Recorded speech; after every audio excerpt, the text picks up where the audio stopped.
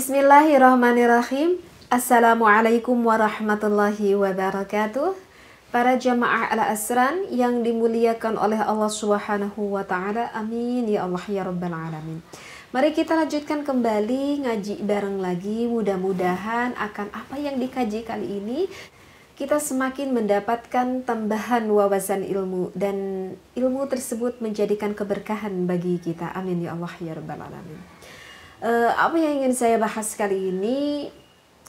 Uh, kalau saya lihat eh, berita-berita di televisi ya, naudzubillahi min dzalik, terkadang saya sering mendengarkan berita tentang kasus sebuah pelecehan.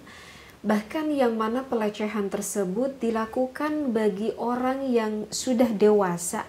Dilakukannya itu terhadap anak-anak yang masih pada di bawah-bawah umur. Nauzubillahiminzalik. Yang mana mungkin eh, orang-orang uh, dewasa tersebut apakah yang memang sudah terkena sebuah uh, penyakit yang kita katakan dengan pedofil ataupun memang dikarenakan ya begitu saja orang tersebut yang tidak bisa menahan akan uh, syahwat hawa nafsunya tersebut. Nauzubillahiminzalik. Ya, yang mana di berita tersebut bahkan yang dilakukan oleh orang dewasa terhadap anak yang di bawah umurnya itu kepada laki-laki lagi ataupun terhadap anak perempuan seperti itu. Nah, eh, yang saya pribadi gitu sebagai selaku orang tua bahkan eh, saya mengajarkan akan eh, seksualitas tersebut terhadap minimal terhadap anak saya pribadi saya menerapkan hal itu dari sedini mungkin loh. Tetapi jangan dulu berpikir negatif akan apa yang saya sampaikan. Ya artinya saya sebagai orang tua ya tentu mengajarkan hal itu kepada anak saya yang sesuai dengan tingkatan umurnya. Sekali lagi yang sesuai dengan tingkatan umurnya. Karena uh, saya masih punya anak uh, masih kecil ya sekarang itu sekitar umur 6-7 tahunan lah begitu. Bahkan ketika pada umur 5 tahunan pun gitu ya saya sudah sedikit-sedikit mengajarkan sesuai dengan umurnya. Misalkan salah satu contoh yang saya ajarkan kepada anak saya, eh, saya mengajarkan kepada anak saya begini loh nah fisik perbedaan dari perempuan dan juga laki-laki. Saya sedikit mengajarkan kepada anak saya bahwa ada batasan aurat dari laki-laki dan juga e, perempuan dan ada batasan ketika anak boleh bermain sejauh mana dengan anak perempuan dan sebetulnya kita salah satu misalkan mengajarkan uh, fisik perbedaan laki-laki dan perempuan itu nanti akan sedikit mengarah akan uh, termasuk terhadap hal seksualitas juga bukan? Nah, tetapi saya ajarkan sesuai dengan tingkatan umurnya. Dan e, contoh yang lain saya mengajarkan kepada anak bahwa nah e, harus tahu bahwa ada sentuhan yang boleh disentuh dan ada sentuhan yang tidak boleh disentuh jika disentuh oleh orang lain gitu ya. Saya misalkan memberikan contoh ya Nina bahwa dari sini sampai lutut itu adalah daerah yang tidak boleh disentuh oleh orang lain seperti itu. Apalagi kalau di daerah pusar sampai eh, agak bawahnya itu yang sangat tidak boleh disentuh baik laki-laki ataupun oleh perempuan. Eh, anak anak saya itu berkata kenapa loh mah tidak boleh disentuh? Maka saya akan lanjutkan kembali perbincangan itu sesuai dengan ya kira-kira anak saya itu bisa memahaminya. Dan bukankah itu adalah hal seksualitas juga yang kita ajarkan terhadap anak? Nah, jadi kalau menurut saya di dalam pembelajaran seksualitas kita itu tidak perlu tabu, kita itu tidak langsung berpikir negatif, wah kalau seksualitas hanya menjurung ke sana saja. Tidak, tidak seperti itu kalau pem menurut pemikiran saya. Jadi kita ajarkan sesuai dengan tingkatan umurnya.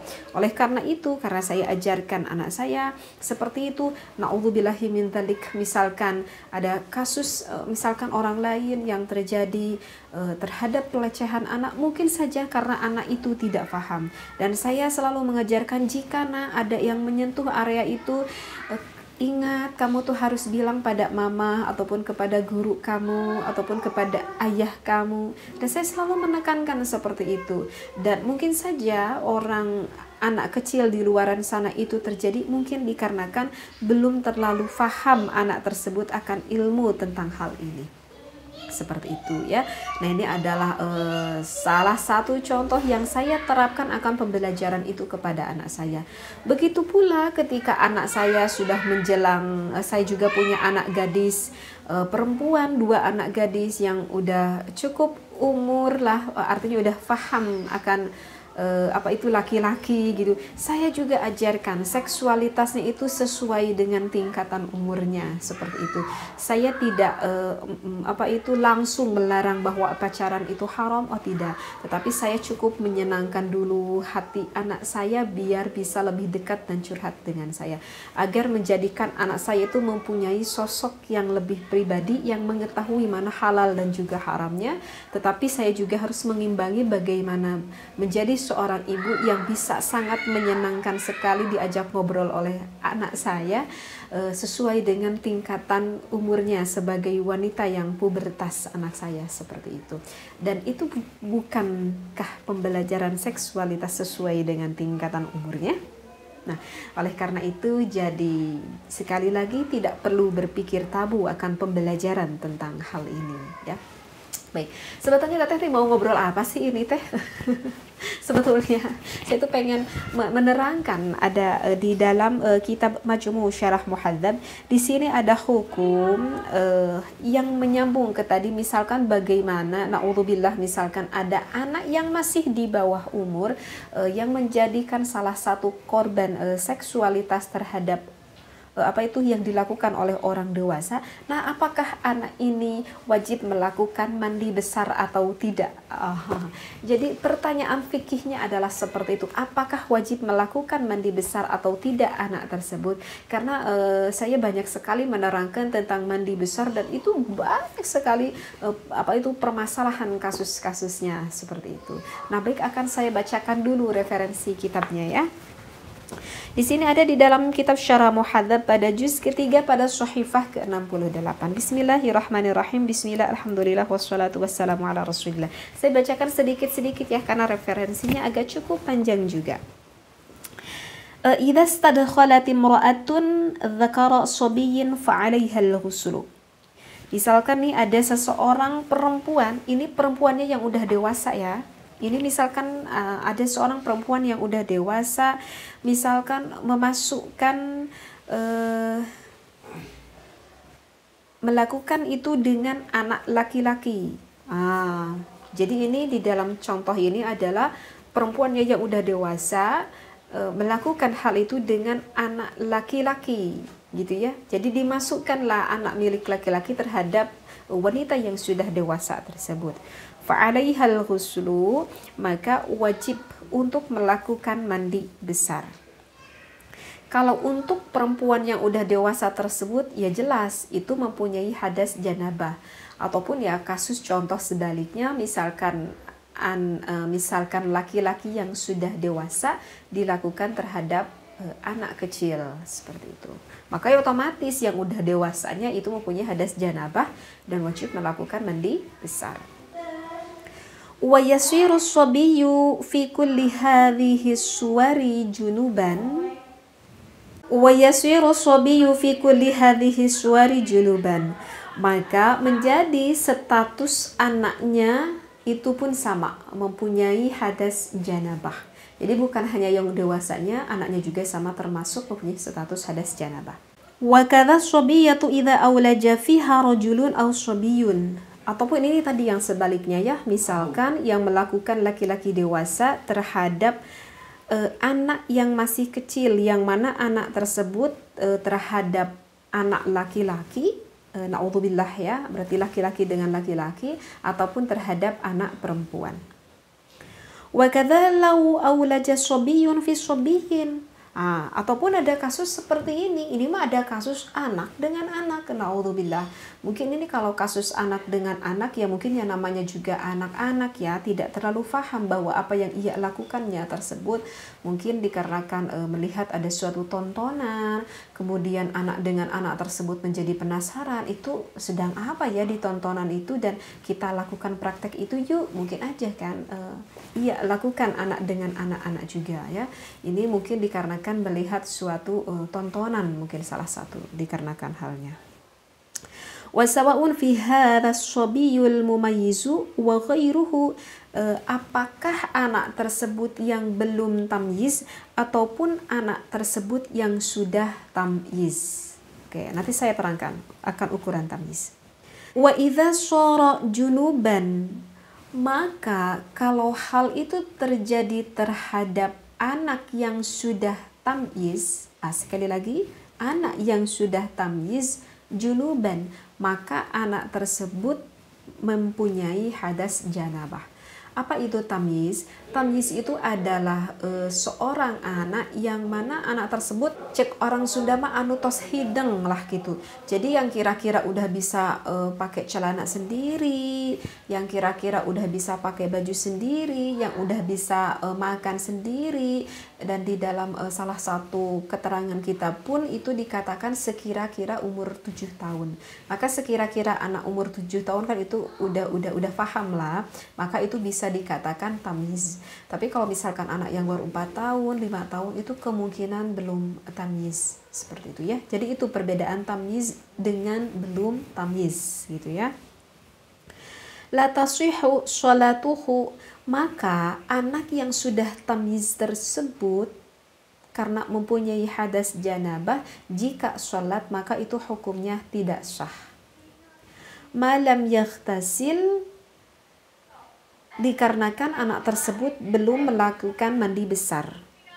Kama idza bala la tasihu salatuhu hatta yatawaddoa.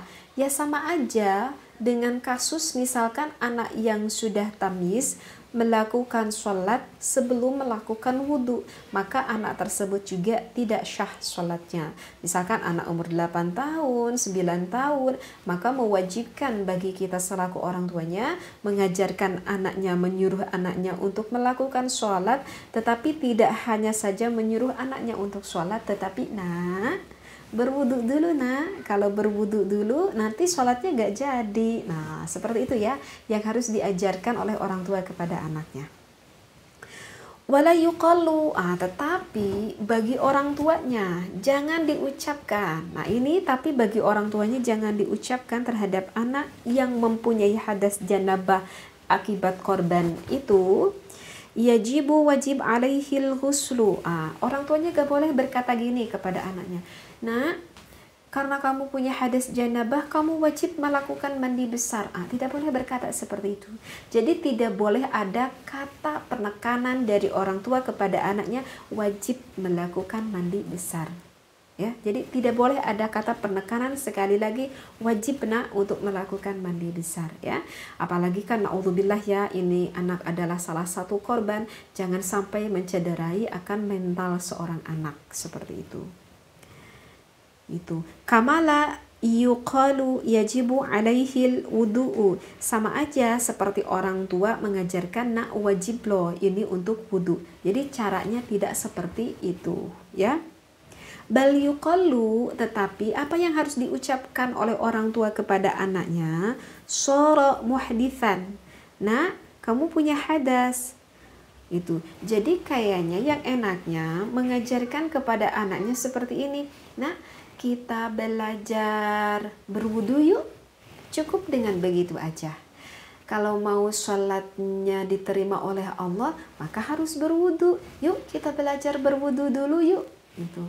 Ataupun misalkan anak tersebut yang menjadikan salah satu korban anak itu, maka orang tuanya bisa mengajarkan, nak kita belajar melakukan mandi besar yuk, biar jadi anak pintar, biar kita tambah ilmunya. Ah, Cukup seperti itu aja ya. Kita mengajarkan kepada anak-anak yuk caranya mandi besar seperti ini loh nah. Padahal sebetulnya kita itu sedang menyuruh kepada anak untuk melakukan mandi besar dikarenakan mempunyai hadas janabah itu.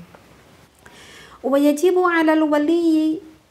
Nah, ada kewajiban bagi seorang walinya baik kepada orang tuanya ataupun pengganti orang tuanya ayyak murahu bil ghusli ingkana mumayyizan. Nah, kalau anaknya yang terjadi salah satu korban itu anaknya sudah tamyiz, sekali lagi anaknya sudah tamyiz, maka wajib menyuruh kepada anaknya untuk melakukan mandi besar. Kama ya'muruhu bil wudu'i sama aja seperti memerintahkan wudu. Fa illam yaghtasil hatta balagha lazimahul ghuslu. Kalau misalkan anak tersebut belum pada saat itu melakukan mandi besar, maka kewajibannya itu tetap anak tersebut harus melakukan mandi besar.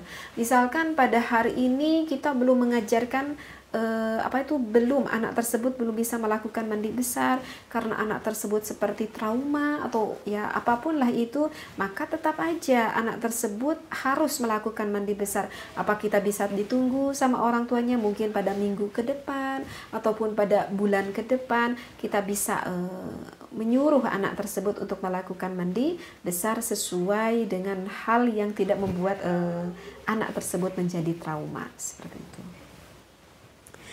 Kama idza bala thumma balagha yalzamuhul wudu'u. Ya sama aja seperti menyuruh orang tuanya kepada anaknya setelah tamyiz untuk melakukan wudu.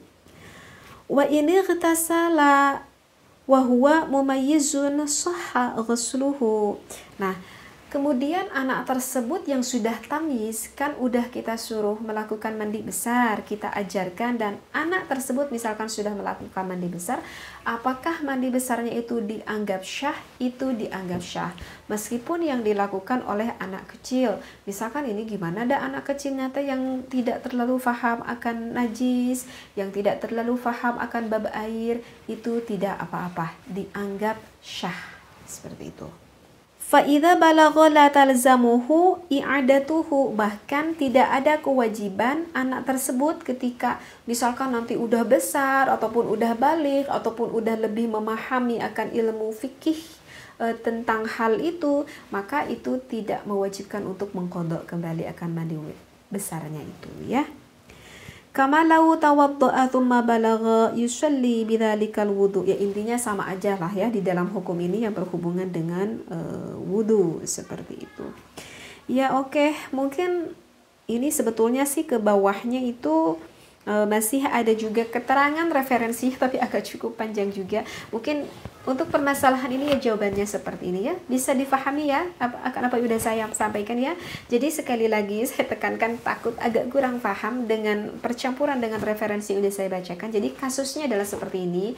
Jika ada seorang anak dari korban pelecehan eh, kalau anaknya tersebut belum tamyiz, misalkan pada umur 4 tahun, 5 tahun anak tersebut belum tamyiz, maka tidak mewajibkan orang tuanya menyuruh kepada anaknya untuk e, melakukan e, mandi besar sesegera mungkin, meskipun anak tersebut tetap mempunyai hadas janabah. Tetapi kalau misalkan anak tersebut e, dilakukan e, perilaku seperti itu yang mana anak tersebutnya sudah tamiz misalkan umur 8 tahun, 10 tahun tetapi sebelum balik maka ada kewajiban orang tuanya menyuruh kepada anaknya tersebut untuk melakukan mandi besar gitu ya. Tetapi memerintah jangan menekankan bahwa itu adalah suatu kewajiban loh nak. Tidak dengan kata seperti itu. Jadi kita cukup mengajarkan kepada anak kita nah kita belajar mandi besar yuk. Cukup seperti itu saja ya. Jadi e, mungkin itulah intinya ya. Dan mandi besarnya itu dikatakan e, syah anak yang belum tamis tersebut jadi insya Allah ya mudah difahami ya akan apa yang saya sampaikan kali ini.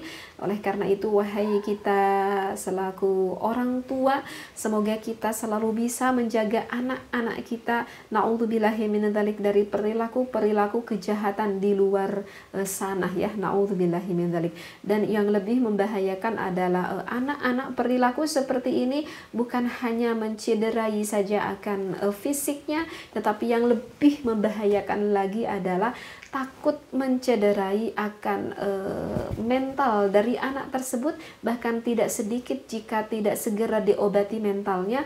Perilaku ini takut terjadi terulang kemudian hari ketika anak ini sudah dewasa takut menjadi meniru perilaku yang pernah dilakukan kepada anaknya tersebut. Nauzubillah min Oleh karena itu kita harus selalu meminta perlindungan kepada Allah Subhanahu wa taala.